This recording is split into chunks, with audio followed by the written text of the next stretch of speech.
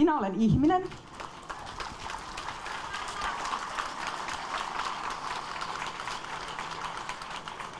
Ja myös minä kaipaan joskus näiden synkkien pilvien keskellä iloa, valoa ja hauskuutta. Ja siihen liittyy kaikenlaista kuvamateriaalia, kaikenlaista videomateriaalia, mitä en itse haluaisi nähdä, mitä minä tiedän, että te ette haluaisi nähdä. Ja siitä huolimatta sitä meille kaikille näytetään. Se on yksityistä, se on iloa ja se on elämää.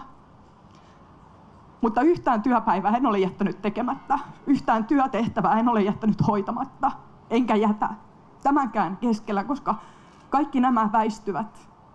Ja meidän pitää yhdessä rakentaa tästä maasta vahvempi. Ja alle sen matkan, kun Helsingistä on Utsjoelle, meillä on eurooppalaisia ystäviä Ukrainassa, Kiovassa, muualla.